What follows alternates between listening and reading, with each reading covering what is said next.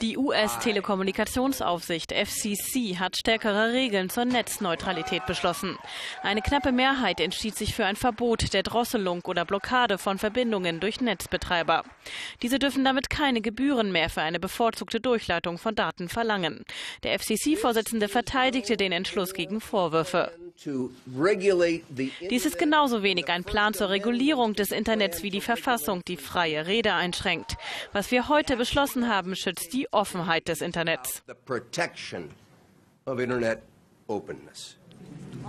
Die FCC hatte ihre Regelungen nach dem Druck der Öffentlichkeit und auf Einwirken von Präsident Barack Obama verschärft.